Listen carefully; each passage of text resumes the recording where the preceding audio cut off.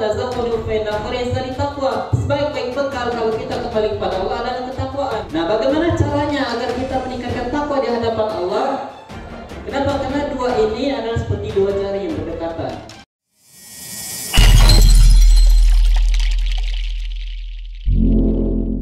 Mati Allah Subhanahu wa taala.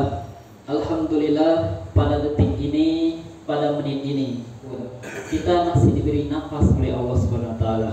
Kita diberikan nikmat, diizinkan oleh Allah hidup. Dan tidak lain Allah memberikan kita hidup pada hari ini adalah untuk mempersiapkan kita hari esok. Makanya Allah berfirman, "A'udzubillahi minasyaitonirrajim. Bismillahirrahmanirrahim." Ya ayyuhalladzina amanu taqullaha wal tanzur nafsum ma qaddamat liwat wattaqullaha innallaha khabirum bima ta'malun. Wahai orang-orang beriman, bertakwalah kepada Allah dan hendaklah di antara kita semua memperhatikan hari esok dan bertakwa kepada Allah sesungguhnya Allah mengetahui. Jadi ayat ini memanggil wahai orang-orang beriman, jika kamu merasa beriman di dalam hatimu, maka perhatikan hari esok. Apa hari esok? Bisa hari ketika kita kembali kepada Allah, bisa hari kiamat, bisa hari di nanti kita di alam barzah, ataupun bisa besok pagi. Perhatikan itu. Kenapa? Bertakwalah kepada Allah, hendaklah kita memperhatikan besok, karena kita nggak tahu ajal kita kapan. Karena kita nggak tahu kita akan kembali kepada Allah ini jam berapa, detik apa, dan hari apa. Makanya Allah katakan kepada kita, hendaklah kita untuk memperhatikan hari esok. Nah, di dalam ayat lain Allah katakan wa tazawwadu fa inna taqwa. Sebaik-baik bekal kalau kita kembali kepada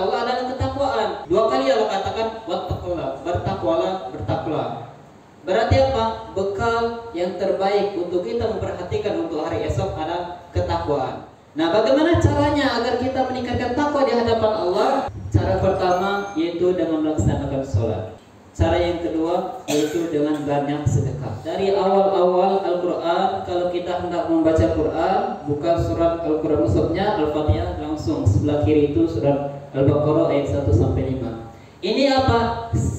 Cara kita meningkatkan takwa. Allah sudah jelaskan dari awal-awal Al-Baqarah ini. Apa kata Allah? Alif Lam Mim. Zalikal kitabul la raiba fi hudal lil muttaqin. Al-Quran ini tidak ada keraguan padanya kecuali bagi orang-orang yang bertakwa.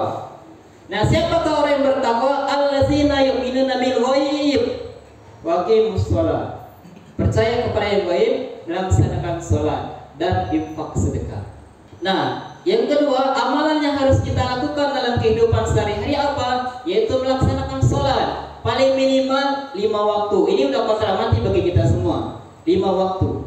Syukur-syukur kalau sholat tahajud. Kenapa sholat tahajud yang kedua? Karena sholat sunnah yang ada di dalam Al-Quran adalah sholat tahajud. Wa minal laili fatahajjat bihi nafilatallah.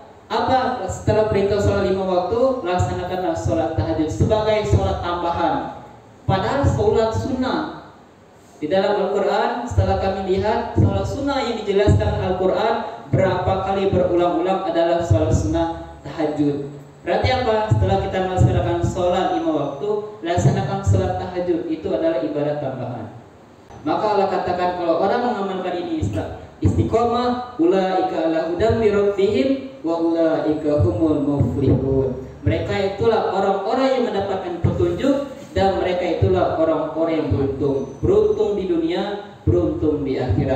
Demikianlah mudah-mudahan ada manfaatnya kebenaran dari Allah Subhanahu wa taala Salam itu datangnya dari kami. Usiku minat si. Assalamualaikum warahmatullahi wabarakatuh.